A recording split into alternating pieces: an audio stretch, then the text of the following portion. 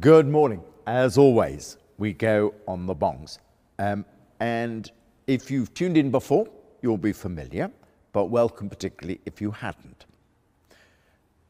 Beloved, we are come together in the presence of Almighty God and of the whole company of heaven to offer unto him through our Lord Jesus Christ our worship and praise and thanksgiving, to make confession of our sins, to pray as well for others as for ourselves, that we may know more truly the greatness of God's love and show forth in our lives the fruits of his grace, and to ask on behalf of all men such things as their well being doth require.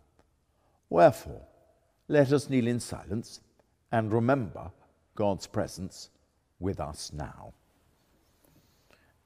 And in the little Chelsea Old Church prayer book that I have before me, this is on page three, and the word, starting words are Almighty and Most Merciful Father.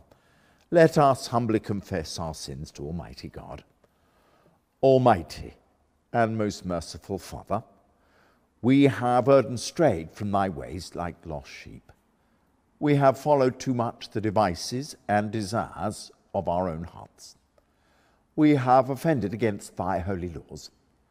We have left undone those things which we ought to have done, and we have done those things which we ought not to have done, and there is no health in us. But thou, O Lord, have mercy upon us, miserable offenders. Spare thou them, O God, which confess their faults. Restore thou them that are penitent, and according to thy promise declared unto mankind, in Christ Jesus our Lord. And grant, O most merciful Father, for his sake, that we may hereafter live a godly, righteous, and sober life, to the glory of thy holy name. Amen. May the Almighty and merciful Lord grant unto you pardon and remission of all your sins, time for amendment of life, and the grace and comfort of the Holy Spirit. Amen. And we say together on page five, the Venite, beginning with the words, O come, let us sing unto the Lord. O come, let us sing unto the Lord. Let us heartily rejoice in the strength of our salvation. Let us come before his presence with thanksgiving and show ourselves glad in him with psalms.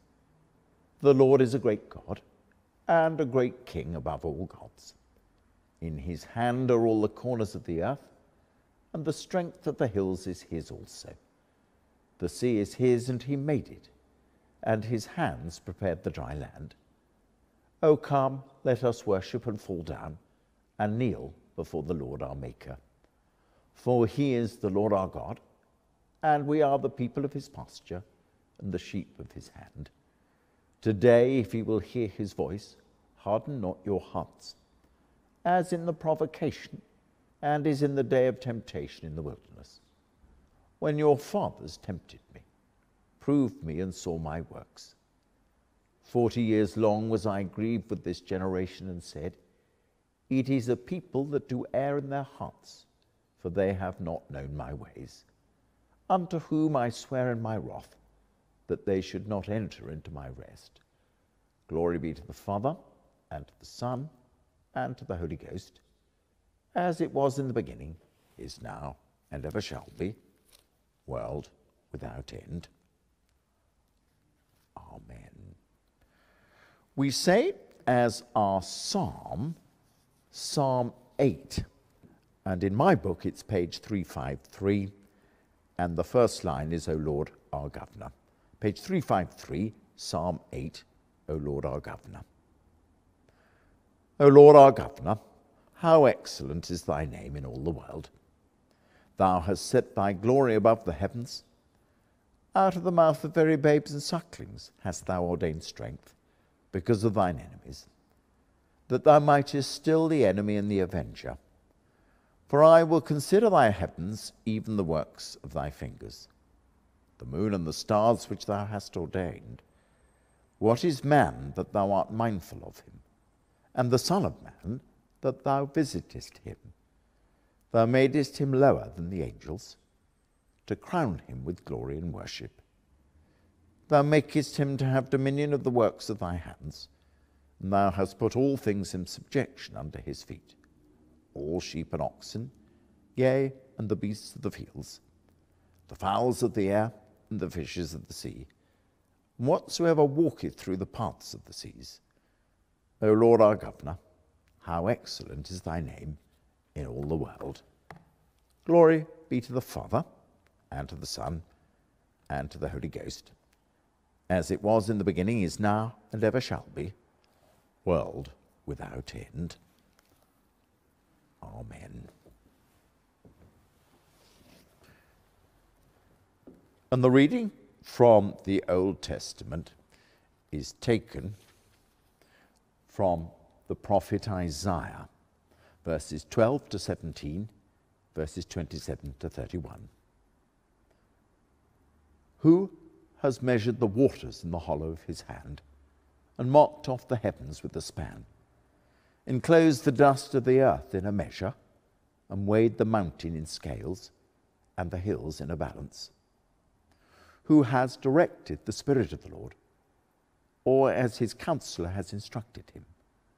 Whom did he consult for his enlightenment, and who taught him the paths of justice? Who taught him knowledge? and showed him the way of understanding. Even the nations are like a drop from a bucket and are accounted as dust on the scales. See, he takes up the isles like fine dust. Lebanon would not provide fuel enough, nor are its animals enough for a burnt offering. All the nations are as nothing before him. They are accounted by him as less than nothing and emptiness. Why do you say, O Jacob, and speak, O Israel? My way is hidden from the Lord, and my right is disregarded by my God. Have you not known? Have you not heard? The Lord is the everlasting God, the creator of the ends of the earth. He does not faint or grow weary, his understanding is unsearchable. He gives power to the faint and strengthens the powerless. Even youths will faint and be weary and the young will fall exhausted. By those who wait for the Lord shall renew their strength. They shall mount up with wings like eagles. They shall run and not be weary. They shall walk and not faint. Here ends the first lesson.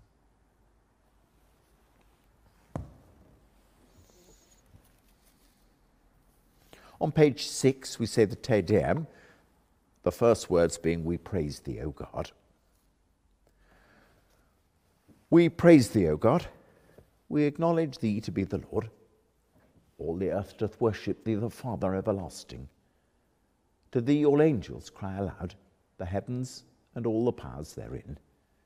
To thee cherubim and seraphim continually do cry, Holy, holy, holy, Lord God of Sabaoth.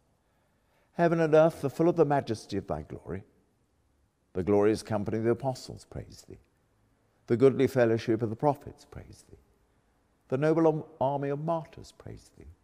The holy church throughout all the world doth acknowledge thee, the Father of an infinite majesty. Thine honourable, true, and only Son, also the Holy Ghost, the Comforter.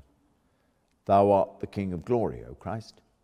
Thou art the everlasting Son of the Father when thou tookest upon thee to deliver man, thou didst not abhor the Virgin's womb.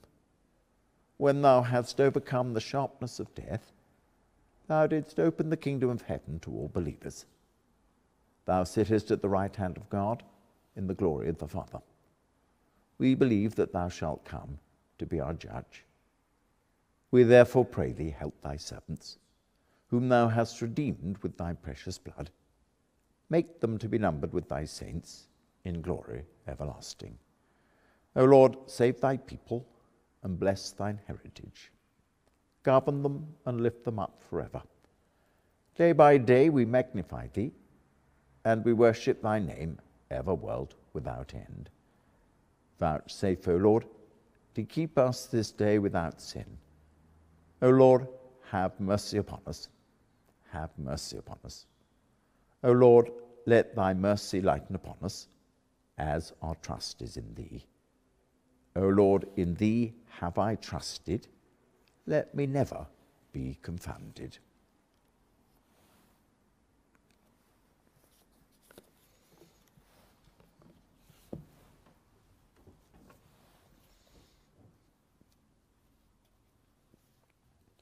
The second reading is from St. Paul's letter to the Corinthians, chapter 2, verses 13, 11 to 13, and the Gospel of Matthew, chapter 28, verses 16 to 20. A reading from the second letter of Paul to the Corinthians. Brothers and sisters, put things in order, listen to my appeal, agree with one another, live in peace. And may the God of love and peace will be with you. Greet one another with a holy kiss. All the saints greet you. And may the grace of our Lord Jesus Christ and the love of God and the communion of the Holy Spirit be with all of you. And the gospel of our Lord Jesus Christ according to Matthew. And the eleven disciples went to Galilee to the mountain to which Jesus had directed them. And when they saw him, they worshipped him, but some doubted. And Jesus came and said to them, All authority in heaven and on earth has been given to me. Go therefore and make disciples of all nations, baptizing in the name of the Father and of the Son and of the Holy Spirit, and teaching them to obey everything that I have commanded you. And remember, I am with you always to the end of the age. Here ends the second reading.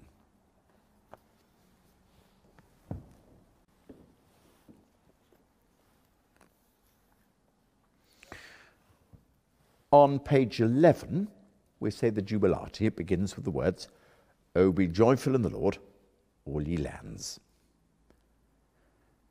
O be joyful in the Lord, all ye lands. Serve the Lord with gladness, and come before his presence with a song. Be sure that the Lord, He is God. It is He that hath made us, and not we ourselves. We are His people and the sheep of His pasture. O go your way into His gates with thanksgiving, and into His courts with praise. Be thankful unto Him, and speak good of His name. For the Lord is gracious, His mercy is everlasting, and His truth endureth from generation to generation. Glory be to the Father, and to the Son, and to the Holy Ghost, as it was in the beginning, is now, and ever shall be, world without end. Amen. And we continue saying our creed on page 11. I believe in God the Father Almighty, maker of heaven and earth, and in Jesus Christ, his only Son, our Lord, who was conceived by the Holy Ghost, born of the Virgin Mary suffered under Pontius Pilate, was crucified, dead, and buried. He descended into hell. And the third day he rose again from the dead, and he ascended into heaven, and sitteth on the right hand of God the Father Almighty. From thence he shall come to judge the quick and the dead. I believe in the Holy Ghost, the Holy Catholic Church, the communion of saints, the forgiveness of sins, the resurrection of the body, and the life everlasting. Amen. The Lord be with you and with thy spirit. Let us pray. Lord, have mercy upon us. Christ, have mercy upon us. Lord, have mercy upon us.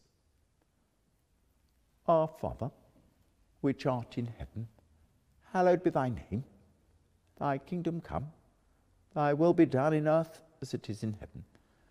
Give us this day our daily bread, and forgive us our trespasses, as we forgive them that trespass against us.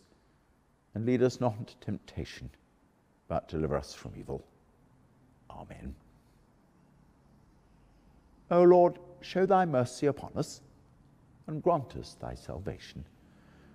O Lord, save the Queen, and mercifully hear us when we call upon thee. Endue thy ministers with righteousness and make thy chosen people joyful. O Lord, save thy people and bless thine inheritance.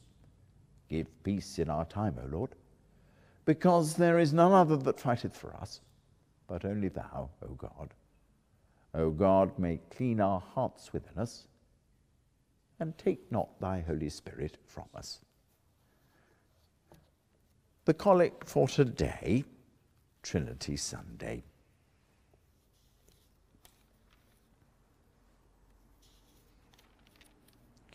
Almighty and everlasting God, who has given unto us thy servants grace by the confession of a true faith, to acknowledge the glory of the eternal Trinity, and in the power of the divine majesty to worship the unity. We beseech thee that thou wouldest keep us steadfast in this faith, and evermore defend us from all adversities, who livest and reignest one God, world without end. Amen.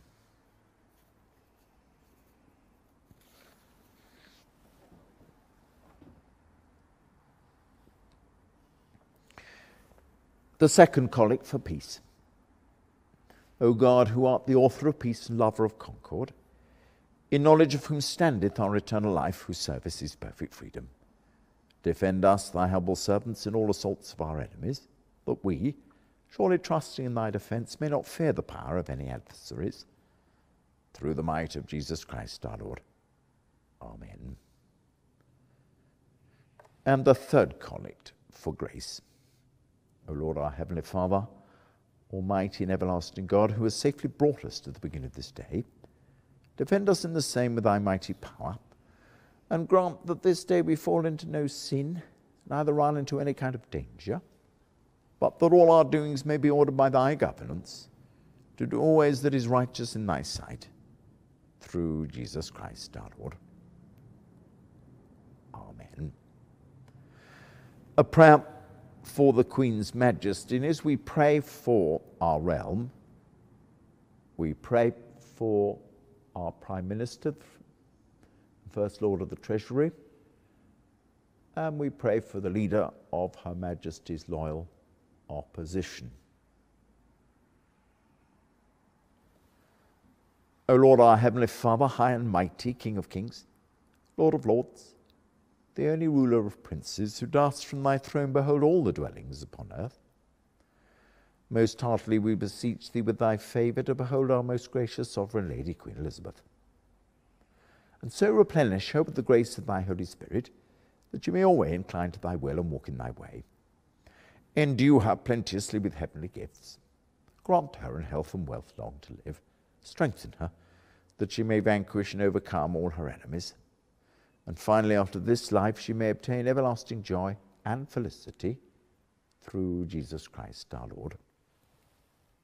Amen. A prayer for the clergy and people, and we particularly pray for how we work out how we worship after, as we come out of lockdown. Almighty and everlasting God, who alone worketh great marvels, Send down upon our bishops and curates and all congregations committed to their charge the healthful spirit of thy grace, and that they may truly please thee, pour upon them the continual dew of thy blessing. Grant this, O Lord, for the honour of our advocate and mediator, Jesus Christ. Amen. And in a moment of silence, we remember all those who lie on our hearts.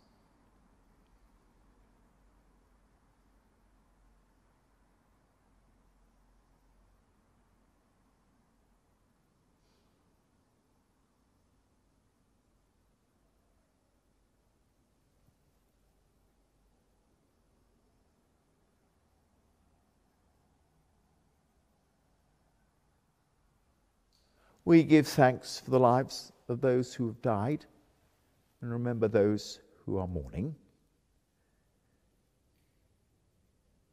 We pray for our land as we come out of lockdown and how we do that safely. And we pray for all those who've made our lives during it possible. The postman, the people who work in shops, the dust people, all those who work in the NHS and shops, and all those things that made our lives possible. And as we come out of lockdown, we pray as a nation for harmony, for understanding and listening to each other. And may some of the grace that has been present in our society during it continue and flourish.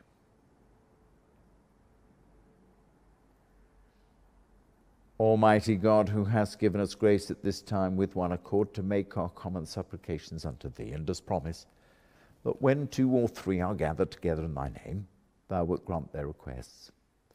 Fulfill now, O Lord, the desires and petitions of thy servants, as may be most expedient for them, granting us in this world knowledge of thy truth, and in the world to come life everlasting. Amen. And we say the grace together. The grace of our Lord Jesus Christ, and the love of God, and the fellowship of the Holy Spirit be with us all evermore. Amen.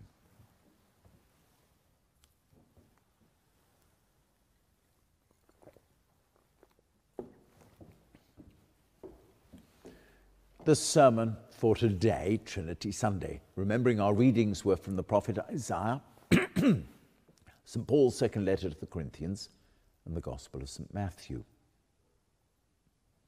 Today is Trinity Sunday. At first sight, the doctrine of the Trinity can seem as if the Church is being more complicated than it need be. What is being said is the nature of God as creator. Jesus as the embodiment of the Christian life lived out. His death and resurrection pointing us to salvation we are enabled to live out the Christ life by the power of the Holy Spirit. This could be confusing, but a moment's reflection on ourselves makes us realize how complex we are as human beings. Our parents' influence is always with us. We can recapture how we felt as a child, and sometimes we behave in a childish way. Love we receive from our families and friends. So we begin to understand what is being said and what the church is trying to say by the doctrine of the Trinity. We hold in creative tension that we're created by God, that we're attempting to live that out, sometimes well, sometimes not. The Christian life. All of this enabled by the power of the Holy Spirit. The ultimate gift God gives us is that we are created, we're human beings. God took another risk by sending his Son to also be a human being as we are. The events of Jesus' life, his death, and his resurrection made the disciples realize two things.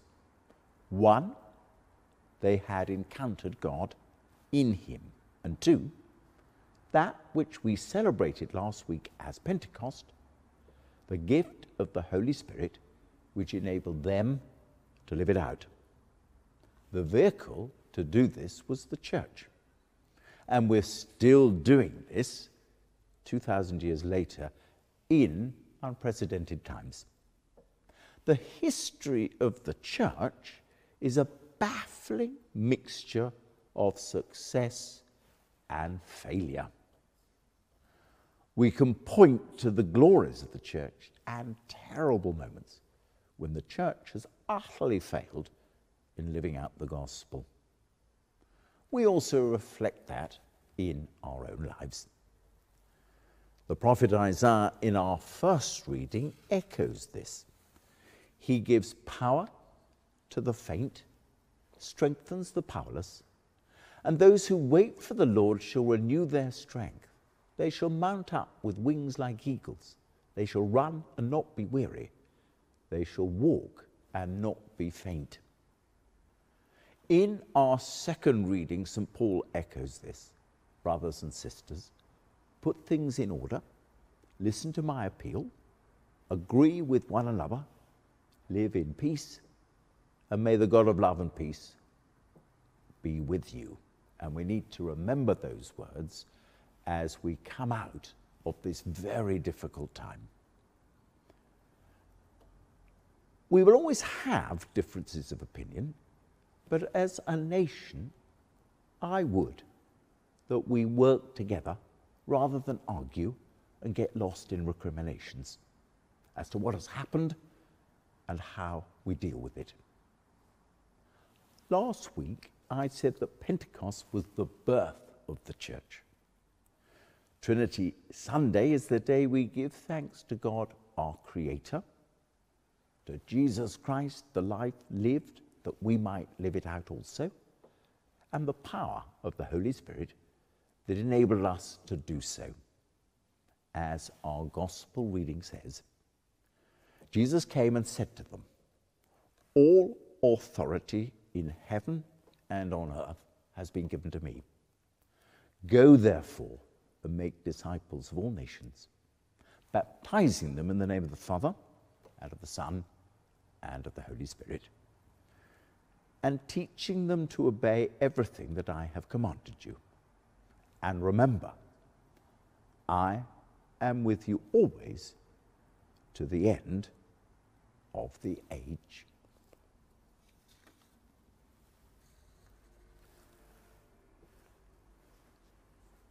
Amen. This is the moment we have notices before we go on to our communion.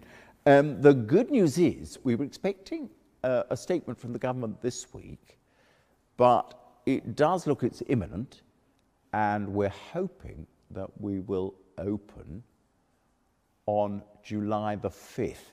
Now, how we do that, um, do keep an eye on the website because we've got to work it out. We want to start, but we obviously also want to be safe. Uh, do remember the website holds all things necessary for salvation. If you're not good at the website, get a friend to tell you about it. Uh, the office is open 24 hours a day. You can ring me 24 hours a day. I'm always very ready to chat. Um, I was slightly surprised that this week my grandson Archie has started at nursery. And what really, really surprised me was that the, the general comment was the teachers, they said, he does talk a lot. I cannot think where that comes from. Now, we're going to have our communion service. And because we've had the Lord's Prayer and a creed, we start on page 255 in our prayer book. And the words which you'll know uh, the, the first words are, We do not presume.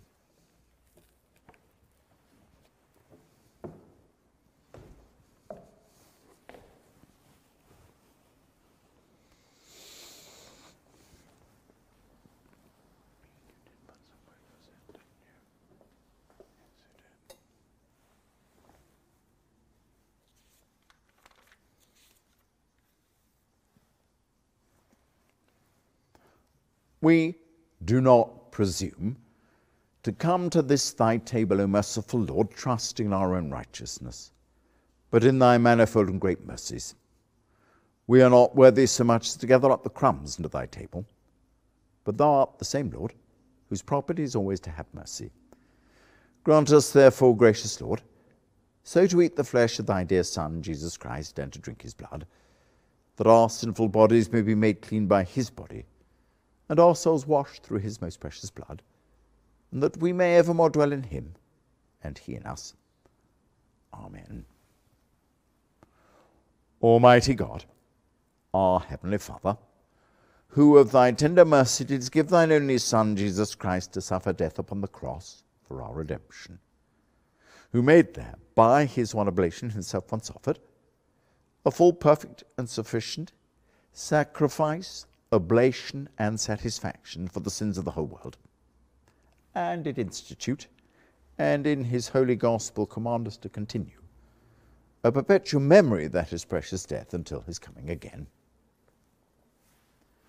Hear us, O merciful Father, we most humbly beseech thee, and grant that we receiving these thy creatures of bread and wine, according to thy Son, our Saviour Jesus Christ's holy institution, in remembrance of his death and passion, may be partakers of his most blessed body and blood, who in the same night that he was betrayed took bread, and when he had given thanks, he brake it and gave it to his disciples, saying, Take, eat, this is my body which is given for you.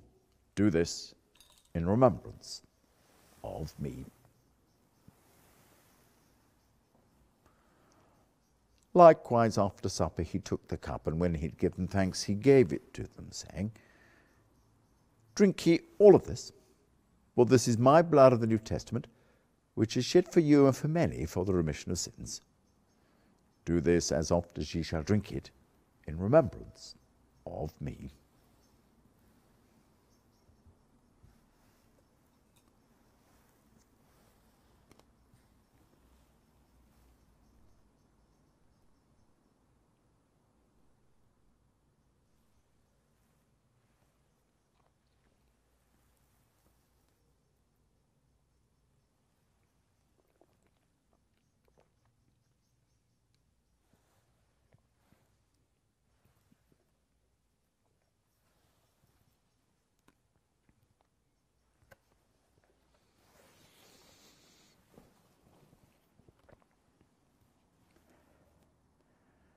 Go forth into the world in peace. Be of good courage. Hold fast to that which is good and render to no man evil for evil. Strengthen the faint hearted.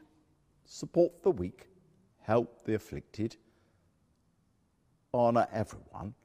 Love and serve the Lord, rejoicing in the power of the Holy Spirit. And may the blessing of God Almighty the Father, the Son, and the Holy Spirit be amongst you and remain with you now and always. Amen.